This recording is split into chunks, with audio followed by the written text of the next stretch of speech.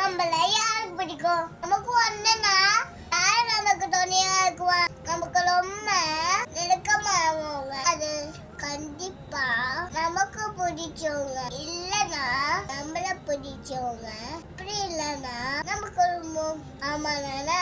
அப்ப நம்ம நபி மீது நம்ம எவ்வளவுதான் பாசம் வச்சாரோ அவங்க குடும்பம் அவங்க பெருவிகள் அவங்க ஒரு தொழுகள் வச்ச பாசத்துக்கு ஆகுது ஏன்னா நபியுடைய எல்லா விஷயங்களையும் சொல்லி செய்ய எல்லாத்தையும் போல பண்ணுவாங்க ஆமா உண்மை தானே இதுல எந்த மாத்து கருத்தும் இல்ல. அப்ப நம்ம நபிய இதுக்கு மேலாக நேசிச்சாங்க.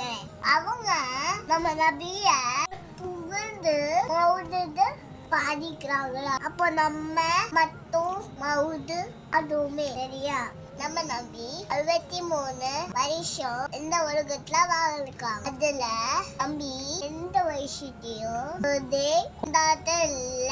அதே மாதிரி நம்ம நம்பி மொத்த போர் பெருக்கும் அவனுடைய மனைவி அவங்களோட தொழில்கள் இருந்தாங்க. அவங்க எல்லாரி நபி கொண்டாடுனாங்களா அப்ப நம்ம மட்டும் இது சரியாக நம்ம பாகமா? சிந்திப்போம் சேம் பண்ணுவோம் இன்ஷால்லா அஸ்லாம் வலைக்கும் அந்த ராய் பகத்